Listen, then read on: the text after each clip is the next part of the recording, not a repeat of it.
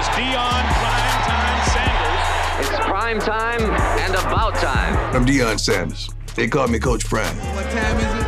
Showtime, prime time. When you play in the NFL and you reach a certain level, you're somewhat of a teacher, of a leader, of one of those guys who people confide in and they look to. All my life, I've been that particular guy. Life is a heck of a teacher. And if you just listen to it, it will teach you wonderful lessons. My coaching style is composite of the multitude of men that have really blessed my life and coached me and took me from level to level.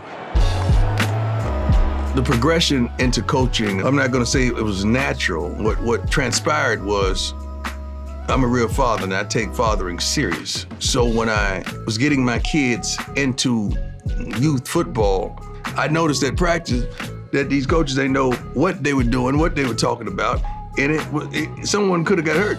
So I get up out my chair and I go help and demonstrate and show them, and I sit back down. By the end of the practice, I was up more than I was down. And I thought to myself, I've never been a follower.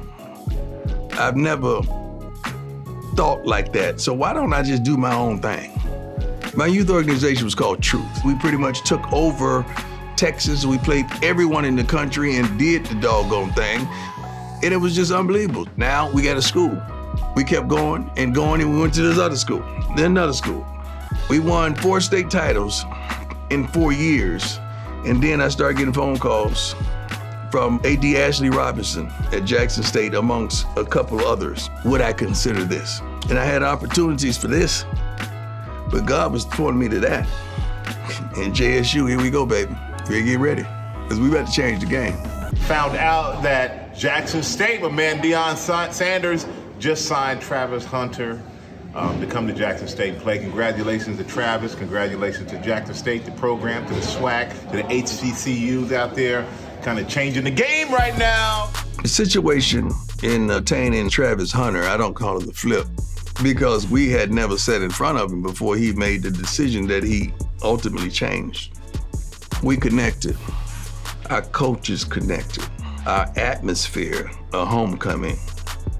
I'm talking to other coaches right now. If you want to lose a recruit, let him come to a HBCU homecoming, and it's a wrap. He ain't never coming back.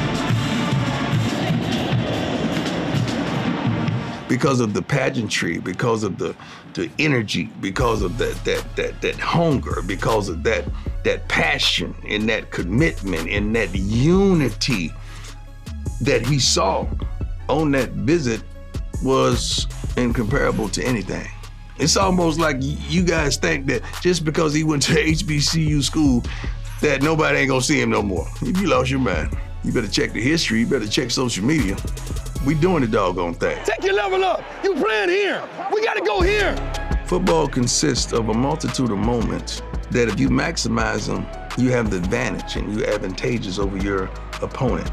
The thing about it, you never know when that moment's gonna happen. Ooh, that moment. You could turn that moment into a monument. Why I coach? Because I have a calling on my life to inspire, to encourage, to motivate, to uplift, to showcase, to win, to dominate, to unify, and to exude truth and bring forth truth. I'm loving what I do, and I'm doing what I love.